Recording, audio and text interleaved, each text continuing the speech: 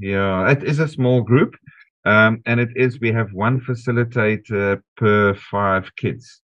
So Oh, okay. make sure somebody could be doing woodwork there, others could be with a panga, you know, like a knife throwing a knife there. We have parkour and bushcraft. So we learn to, in fact, it's probably the only school where kids carry knives because Mhm. they know how to sharpen it, they know how to throw it, they know how to carve sticks with it.